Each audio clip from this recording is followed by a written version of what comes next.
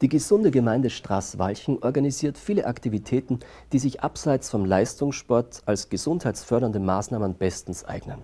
Laufen ist ein einfacher Sport, der die gesundheitlichen Risikofaktoren wie zum Beispiel Blutdruck, Körperfett oder Knochendichte positiv beeinflusst. Beim vierten Gesunde Gemeinde Fitnesslauf stand bei den Kleinen dann aber doch die Freude an der Bewegung im Vordergrund.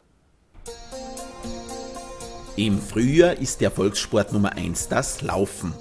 Vor Jahren wurde in Straßweichen das Projekt Gesunde Gemeinde ins Leben gerufen. Begonnen haben wir mit Vorträgen und Kursen.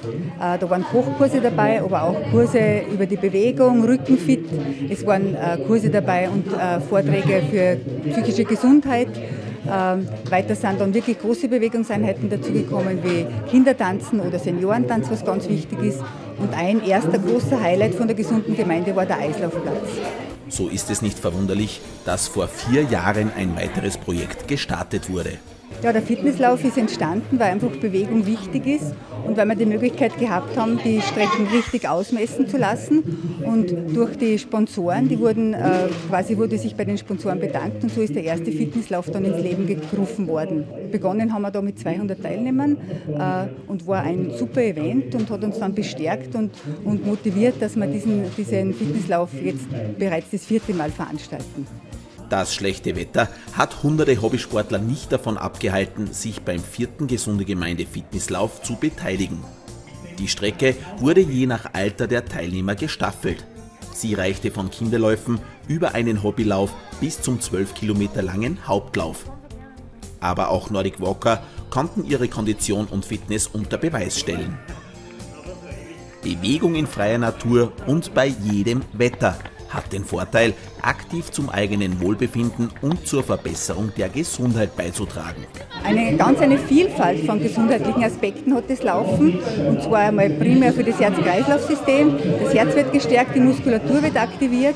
Äh, ein weiterer wichtiger Aspekt ist die Vorbeugung gegen die Osteoporose, aber es ist auch für die Koordination wichtig. Das heißt, wenn jemand gut laufen kann, hat er auch eine gute Koordination.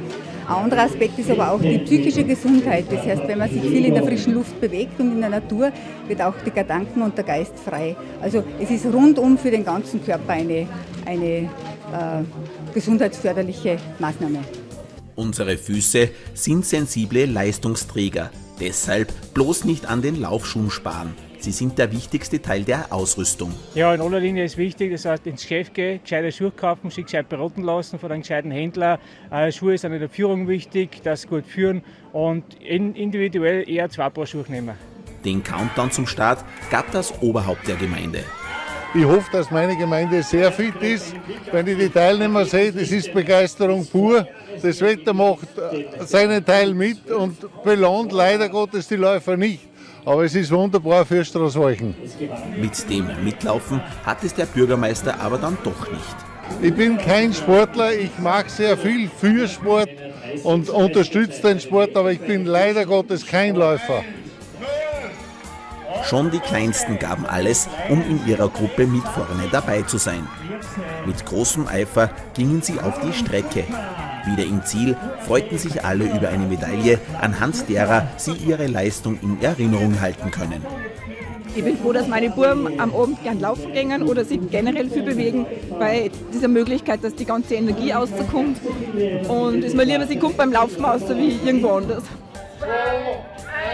Dann der Startschuss zum Hauptlauf. Zu absolvieren galt es eine 12 Kilometer lange Runde, die es speziell bei diesem Wetter in sich hatte.